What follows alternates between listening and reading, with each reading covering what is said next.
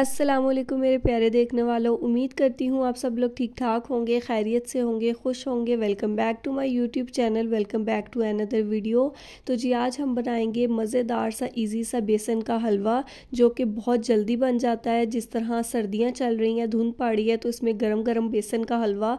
तो सर्दी का जो मज़ा है, वो दुबाला कर देता है। इसको बनाए, बना के फ्रिज में रख लें। जब दिल करे तो चाय के साथ इसको गर्म करें और इंजॉय करें। तो चलें जी, चलते हैं रेसिपी की तरफ़।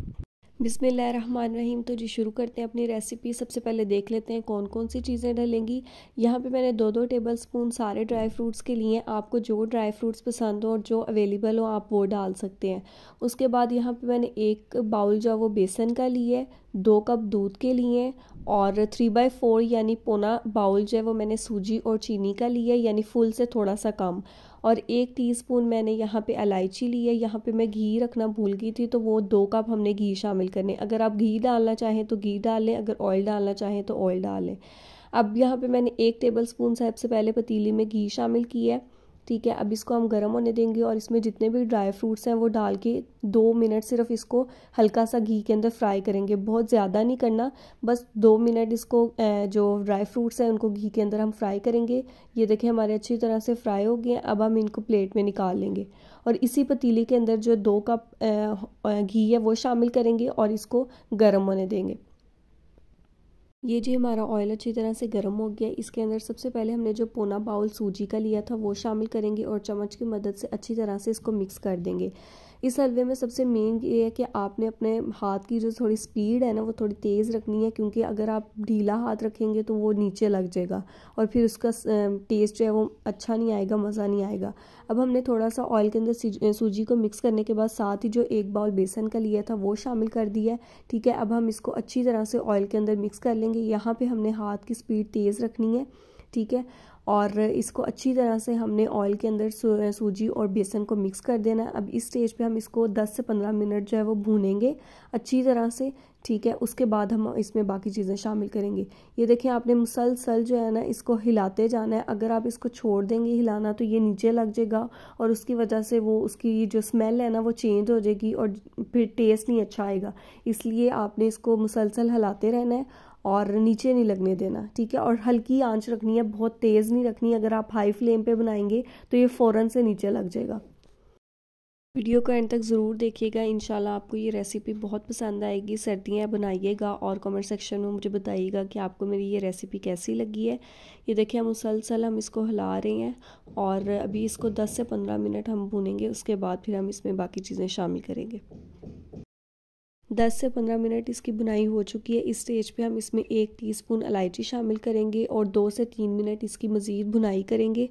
फिर इसमें जो बाकी चीज़ें वो शामिल करेंगे।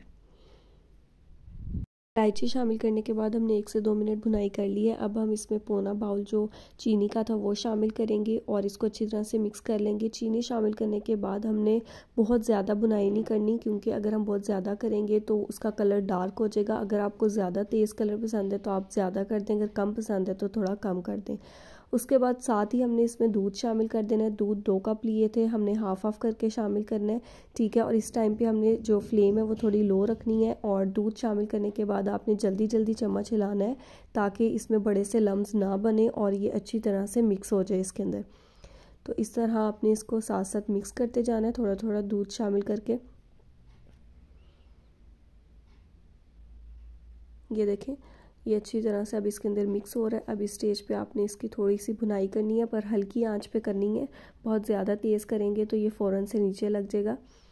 और मुसलसल इस चम्मच को हिलाते रहना इसमें।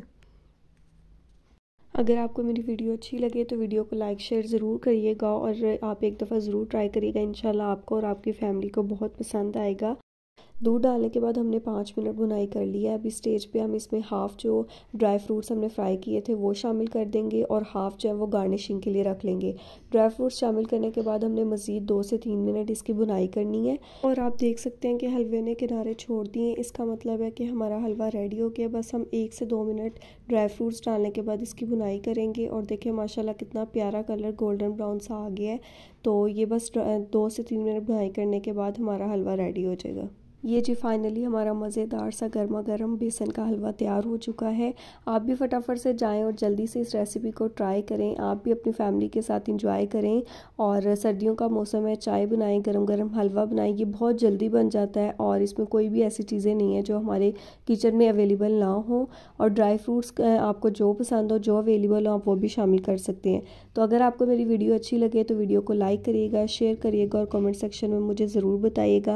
मैं आपके फीडबैक का वेट करूँगी और अगर अभी तक आपने मेरे चैनल को सब्सक्राइब नहीं किया तो वो भी कर दें और बेल आइकन को प्रेस नहीं किया तो वो भी कर दें ताकि आपको मेरी न्यू आने वाली वीडियो की अपडेट मिलती रहे।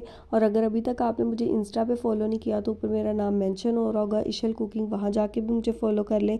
मिलेंगे नेक्स्ट वीडियो में, तब तक के लिए अपनी दुआओं में याद रखिएगा। अल्लाह हाफिज़।